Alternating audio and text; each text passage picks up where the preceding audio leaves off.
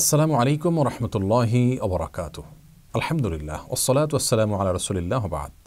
সুপ্রিয় দর্শক, শ্রোতা ভাই বোন পঙ্গপাল খাওয়া ইসলামী শরিয়া দৃষ্টিকোণ থেকে জায়েজ আছে কি না এ বিষয়ে অনেকে আমাদের কাছে জানতে চেয়েছেন। পঙ্গপালকে টিডিও বলা হয়। কেউ কেউ বলেছেন যে ঘাস ফড়িং আর পঙ্গপাল, এগুলো একই জিনিস, একই প্রজাতির, অর্থাৎ ফড়িং। এই ফড়িং বা পঙ্গাপাল তথা টিড্ডি, এগুলো খাওয়ার ব্যাপারে ইসলামী শরিয়ার দৃষ্টিকোণ কি? অনেকে এটা নিয়ে ট্রল করেন, হাসাহাসি করেন, মজা করেন, এটার খাওয়ার বিষয় নিয়ে। আবার অনেকে খাওয়াটাকে জায়েজ বলেন। আসলে এই বিষয়ে আমরা পরিষ্কার ধারণা পাই সুরানে ইবনে মাজা এবং মুসাদ আহমদে বর্ণিত একটা হাদিস থেকে। সেখানে রসুল করিম সাল্লাহ সাল্লাম ইসাদ করেছেন ওহেল্লানা মাই তেতানি ওয়াদামান অর্থাৎ আমাদের জন্য দুটি প্রাণীকে মৃত খাওয়া জায়েজ করা হয়েছে। তার একটা হলো মাছ, মরে গেলেও খাওয়া যায়, আর একটা হলো ফড়িং মারা গেলেও খাওয়া যায়। টিড্ডি, ফড়িং বা পঙ্গপাল যাই বলি না কেন। এহাদিস থেকে পঙ্গপাল খাওয়ার বিষয়টি অনুমোদিত সেটি আমরা বুঝতে পারলাম। আর সেই সাথে দুটি রক্তকে আমাদের জন্য হালাল করা হয়েছে। তার একটা হলো কলিজা একটা হলো তিল্লি বা প্লিহা।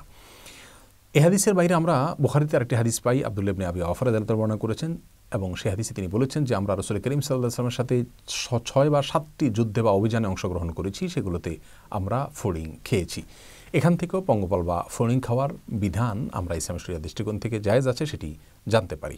সুরানে আবুদাউদে একটি হাদিস বর্ণিত হয়েছে, রসুল করিম সাল্লাহ আসলামকে পঙ্গপাল সম্পর্কে জিজ্ঞাসা করা হলে তিনি বলেছেন, লা আকুলুহু ওয়ালা ওহার রিমুহু অর্থাৎ আমি পঙ্গপাল নিজে খাই না, কিন্তু এটাকে হারামও বলি না।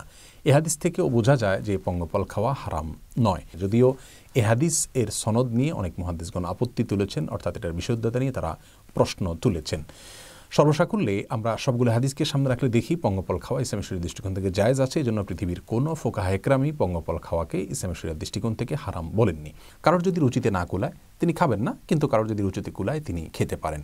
আল জাজিরার একটি রিপোর্ট আমরা দেখেছি এ বিষয়ে, সেখানে তারা উল্লেখ করেছেন যে পৃথিবীতে বহু প্রজাতির পঙ্গপাল রয়েছে এবং ফড়িং রয়েছে। এর বেশিরভাগই মানুষের খাবারের জন্য উপযুক্ত এবং পৃথিবীর বিভিন্ন দেশে মানুষ সেটা খেয়ে থাকে। আর এর বাইরে বিভিন্ন দেশে মানুষ অনেক রকমের পোকামাকড় ইত্যাদি যা পায় তাই খেয়ে থাকে। এ বিষয়ে কোরআনিকের একটি আয়াত আমাদেরকে নির্দেশনা দেয়। আল্লাহ সুমতাল বলেছেন ওয়াই হারিম আলহিমুল খাবাইস অর্থাৎ নোংরা জাতীয় যেগুলো রয়েছে সেগুলো আমাদের জন্য হারাম করা হয়েছে।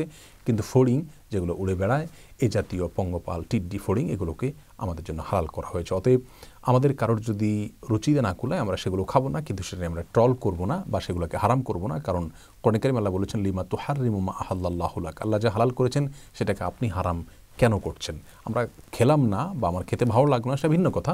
কিন্তু ফ্রাই করে বা বিভিন্ন পদ্ধতিতে এই ফড়িং বা পঙ্গপাল খাওয়া হয়, টিড্ডি খাওয়া হয় কারণ মনে চাইলে তিনি খেতে পারেন ইসলামের দৃষ্টিকোণ থেকে সেটি অনুমোদিত এবং জায়েজ।